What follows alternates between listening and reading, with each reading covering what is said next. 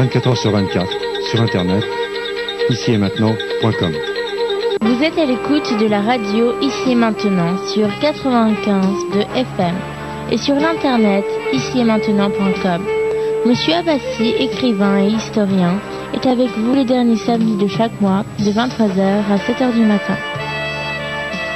Son site internet davidabassi.com Abbassi a 2 B A S I. Ici et maintenant, 24h sur 24, sur Internet, ici et maintenant.com.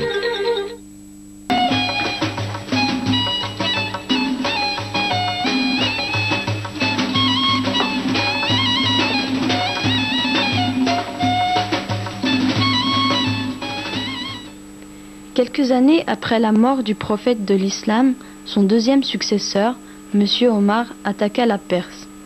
Plusieurs soldats arabes furent tués et obligés de prendre la fuite. Mais quelque temps après, les Arabes se sont réorganisés et M. Omar envoya 30 000 soldats afin de conquérir la Perse. Suite à un combat assez important à Tisfoun, Madain, capitale de Zassadnis, à quelques kilomètres de Bagdad aujourd'hui, l'armée perse, composée de 120 000 soldats sophistiqués, connaîtra la défaite face aux envahisseurs sans chaussures. Mais des kamikazes, bien décidés à s'approprier la richesse et les, pays perses. Il y avait deux slogans. Si vous gagniez la guerre et restiez vivant, vous possédiez la richesse des Perses, ces charmantes filles et ces femmes avec des beaux yeux disait Ouri. Si vous perdiez votre vie, Allah vous donnera tout cela tout cela là-bas dans le paradis, ainsi que des châteaux avec des beaux jardins et des rivières de lait et de miel. Les Arabes de l'époque, qui ne considéraient pas le prophète de l'islam, sont appelés les ignorants par Mohammed. Ils avaient un grand courage aveugle de tuer ou d'être tués, en pensant qu'ils seraient gagnants dans les deux cas. Après cette défaite des Perses, M. Omar envoya un message au roi perse en lui demandant d'accepter l'islam et de se soumettre à Allah Akbar. Le roi perse envoya une réponse par écrit dont l'original se trouvait dans le musée de Bagdad.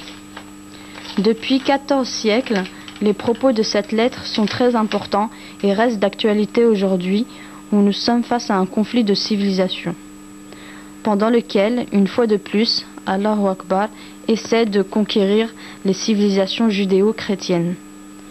Le pape a évoqué ce problème et tous les propos en, tiennent compte dans cette lettre.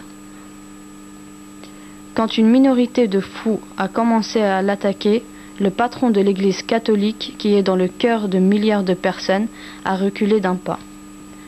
Voici la lettre du roi perse adressée au deuxième calife de Mohammed de la part du roi des pays perses, Yazdegerd III, à Monsieur Omar, fils de Khatab, calife des Arabes. Dans ta lettre, tu nous as invités à nous plier à ton Dieu, que tu nommes Allahu Akbar, et à cause de ton inconscience et ta pensée de bédouin, tu nous ne connais pas, tu ne sais pas qui nous sommes, et nous prions, et tu nous demandes de prier ton Allahu Akbar très étonnant que tu gouvernes au nom du calife des Arabes, mais tu, es ignorant comme un simple bédouin. Bonhomme, je t'informe que nous, les Perses, depuis plusieurs milliers d'années, dans nos cultures, dans nos pays de culture, d'art et de civilisation, nous sommes monothéistes et nous prions le grand Dieu et non plus le grand Allah Akbar. Cinq fois par jour, nous prions notre Dieu. Quand nous avons quand nous avons fondé les principes de la bonne pensée, bonne parole, bonne pratique, nous l'avons élargi dans le monde pour une vie meilleure, pour l'amour et l'amitié, et toi et tes amis, vous vous promeniez dans le désert et mangiez des serpents, des crocodiles et enterriez vivants nos innocentes filles. Vous, qui n'avez pas de respect et aucune valeur pour les créatures de Dieu, avec une haine impitoyable, tous les jours, vous égorgez et nuisez aux femmes, tuez vos filles, attaquez les caravanes et volez les épouses mariées ou non. Comment voulez-vous nous faire plier à vous alors que nous détestons ces actes barbares? Et comment voulez-vous nous donner les, les cours de monothéisme? Tu me dis que nous, prions pour le feu et tu nous incites à devenir monothéistes. Comment se fait-il que tu ne saches pas que nous ne prions pas pour le feu?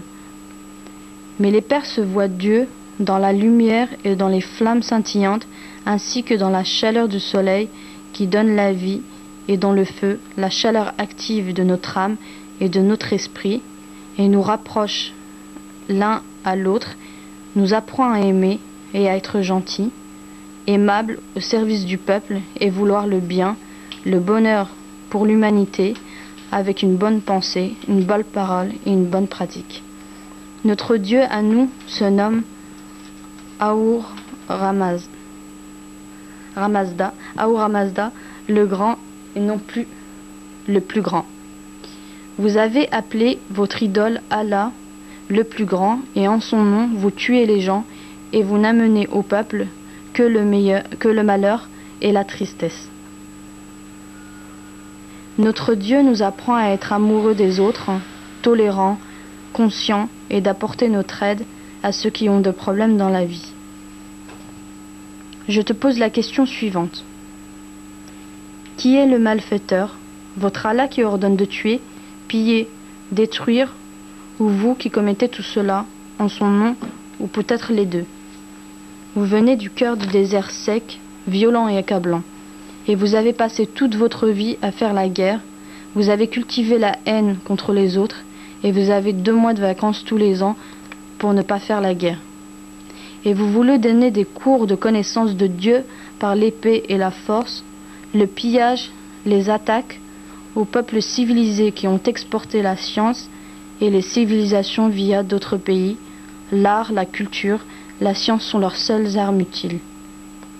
Et vous, au nom de votre Allah le plus grand, vous n'apprenez à vos soldats de l'islam que les pillages, les, destruc- les destructions, les massacres, et en plus vous demandez aux autres d'accepter cette pensée Malheureusement, notre grand malheur et la tristesse d'aujourd'hui est que leur armée puissante qui, obéissait, qui obéissait à Our Ramazda a perdu face aux Arabes qui prient Allah le plus grand.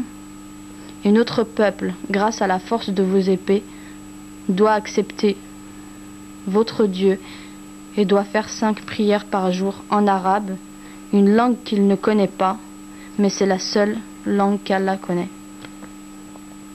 Je vous conseille de retourner dans vos déserts secs, accablants, infestés de crocodiles, et n'envoyez pas une poignée de gens violents, impitoyables et haineux, comme des animaux fous de notre richesse, pour tuer les innocents et voler leurs biens, leurs femmes et leurs filles au nom d'Allah, le plus grand. Les Perses sont des individus accueillants, aimables, humanistes et sachant pardonner. Ils n'ont diffusé dans le monde que de l'amour, de l'amitié, de la beauté et la science. Alors ils vous pardonneront, vous et vos soldats, si vous retournez dans vos déserts et restez avec votre Allah le plus grand, et que vous ne vous approchiez plus de nos villes. Vos pensées sont dangereuses et vos attitudes destructrices. Signé Yazdeguer III, roi des Perses. –